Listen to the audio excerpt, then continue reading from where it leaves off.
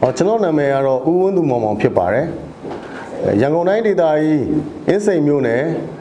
မဲဆန္ဒနယ်တိုင်းဒေသကြီးနှစ်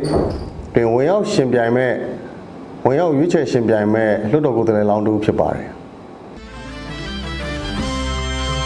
ကောင်းကျိုးဆောင်ပါတီဦးရွှေမန်းတို့ရဲ့ပါတီကောင်းကျိုးဆောင်ပါတီကုရွှေမတို့ရဲ့ပါတီတို့ပါတီတို့ပါတီတို့ပါတီ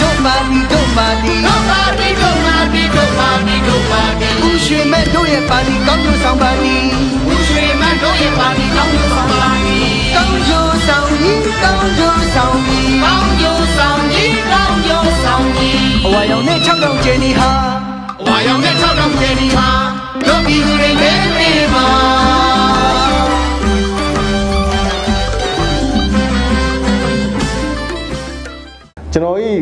ဖခင်ဖြစ်သူဥက္ကမောင်တန်းနှင့်အမိဒေါ်ပိုတို့မှ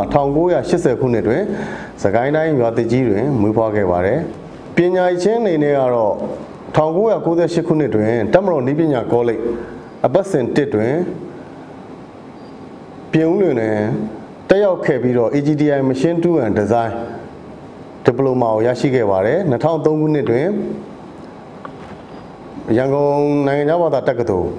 UFM မှာ Russian Language Certificate ရရှိခဲ့ပါတယ်။အဲ2004ခုနှစ်မှာတော့တကုံတက္ကသိုလ်ရန်ကုန်တွင် BSc Chemistry နဲ့ဘွဲရရှိခဲ့တယ်။ဘွဲရရှိပြီးတဲ့နောက်မှာတော့2006ခုနှစ်မှာအဲတမတော်ကြီးဘိုတင်နန်းကျောင်းဘိုလောင်းတင်နန်းအမှတ်စဉ်130မှာ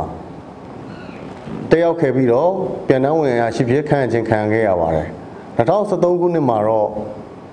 အမှတ်435ချင်းမြန်တက်ရင် တက်ရင်တွင်တထောက်ဘိုးကြီးတာဝန်များထမ်းဆောင်ပြီးတော့ဘိုးကြီးငိမ့်ဖြစ်ပင်စင်ယူခဲ့ပါတယ်ပြည်တော်စုကောင်းကျိုးဆောင်ပါတီကိုဝင်ရောက်ခဲ့တဲ့ရည်ရွယ်ချက်ကတော့နိုင်ငံတော်ခေတ်မီဖွံ့ဖြိုးတိုးတက်သောဖက်ဒရယ်ပြည်တော်စုဒီမိုကရေစီကိုတည်ဆောက်ရန်နဲ့ပြည်သူတို့၏လူမှုစီးပွားဘဝပြည်သူတို့ရဲ့လူမှုဘဝလုံခြုံရေးစသည့်ကဏ္ဍသီးသီးနဲ့နယ်ပယ်သီးသီးကိုပါတီကဆောင်ရွက်နိုင်တဲ့ပါတီဖြစ်ခြင်းဟောပါတီဥက္ကဋ္ဌကြီးဖြစ်တဲ့အဘဥဒ္ဒရာရွှေမန်းတို့ရွှေမန်းဟာလည်းပဲနိုင်ငံရေးနယ်ပယ်အု ပ်ချုပ်ရေးနယ်ပယ်ဥပဒေပြုရေးနယ်ပယ်ငြိမ်းချမ်းရေးနယ်ပယ်စီးပွားရေးနယ်ပယ်လူမှုရေးနယ်ပယ်စသည့်နယ်ပယ်အသီးသီးနဲ့ကဏ္ဍအသီးသီးတို့ကိုခေါင်းဆောင်နိုင်တဲ့ပုဂ္ဂိုလ်တူဖြစ်တဲ့အတွက်ရွေးချယ်ခဲ့ခြင်းဖြစ်ပါတယ်ဒီနေ့ရွေးကောက်ပွဲမှာဝင်ရောက်ရှင်ပြိုင်ရတော့ပြည်သူတရက်လုံးရဲ့စာဝတ်နေရေးအာ ပြည်သူတရရဲ့ကျမ်းမာရေးပညာရေးနော်ပြည်သူတွေရဲ့ဥပိုင်အပိုင်နဲ့ရရှိနိုင်ဥပိုင်အပိုင်နဲ့နေထိုင်နိုင်ရေးပေါ့နော်ပြည်သူတိုင်းပေါ့နော်လူတိုင်းပြည်သူပြည်သူတိုင်းကားစီးနိုင်ရေးနောက်ပြီးတော့ပြည်သူများရဲ့တွာလာမှုအစဉ်ပြေလွယ်ကူစေရေးစသည့်ကဏ္ဍအသီးသီးနယ်ပယ်အသီးသီးကိုလက်ရှိဒီဆောင်ရွက်ပေးနေတဲ့အခြေအနေထက်ပုံမကောင်းမွန်တာလွန်အောင်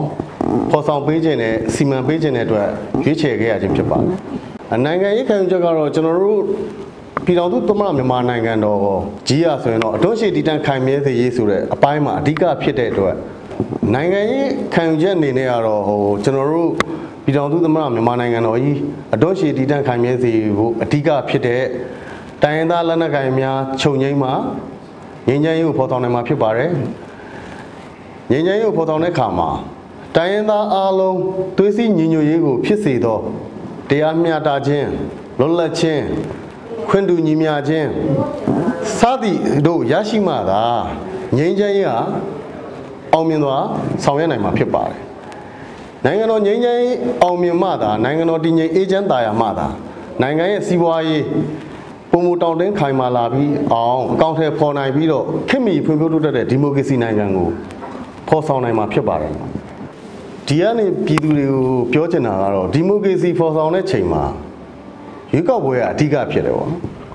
ရွေးကောက်ပွဲကအဓိကစိတ်ပိုင်းဖြစ်တယ်အဲ့ဒီရွေးကောက်ပွဲအဓိကစိတ်ပိုင်းမှာယခုဖြစ်ပေါ်နေတဲ့ COVID-19 ယောဂါပေါ့နော်ဒီယောဂါကကျွန်တော်တို့ရန်ကုန်မှာဆိုရင်လည်းရန်ကုန်တိုင်းဒေသကြီးမှာဆိုရင်လည်းအများဆုံးဖြစ်များတာပေါ့နော်အဖြစ်များတော့ကျွန်တော်တို့လိုကိုယ်တလေလောင်းတွေကဒီလိုကာလမှာ message စီယုံခွင့်ရပောင်း60ကာလ message စီယုံခွင့်တွေမရရှိဘူး message စီယုံခွင့်တွေကိုလည်းမဆောင်ရွက်နိုင်ဘူးဖြစ်နေတာပေါ့နော်ပြည်သူနဲ့လည်းမထိတွေ့နိုင်ဘူးဖြစ်နေတာပြည်သူရဲ့အဲပေါ့နော်ပြည်သူရဲ့ ပြည်သူတို့ချပြမယ်အကိုတို့အနေနဲ့ပြောပြခြင်းတဲ့ message တွေမရောက်ဘူးမရောက်တော့လေပြည်သူနဲ့အကိုတို့နဲ့ဝေးကွာနေတယ်လို့ခံစားရတာပေါ့အဲ့ဒီတော့ဟိုပြည်သူတွေကိုကိုတို့ကမှားချင်တာကတော့ပြည်သူတွေအနေနဲ့ပါတီစုံရွေးကောက်ပွဲမှာပြည်သူတွေရွေးချယ်တဲ့ဆန္ဒမဲပေးမှသာအများကိုယ်သားပြုတဲ့အစိုးရတရက်ပေါ်ပေါက်လာမှာဖြစ်တယ်အများကိုယ်သားပြုတဲ့စိုးရတရက်ပေါ်ပေါက်လာမှပြည်သူတွေလိုလားတဲ့ပြည်သူတွေတောင်းတတဲ့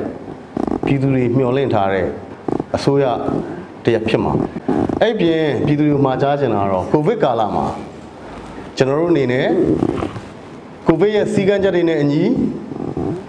မဖြစ်မနေပြည်သူတွေကိုယ်တိုင်မဲရုံကိုသွားပြီးတော့မဲပေးကြပါလို့ကျွန်တော်အနေနဲ့တိုက်တွန်းဆန္ဒပြုရင်းနဲ့ညီကုန်းချုပ်ရပါတယ်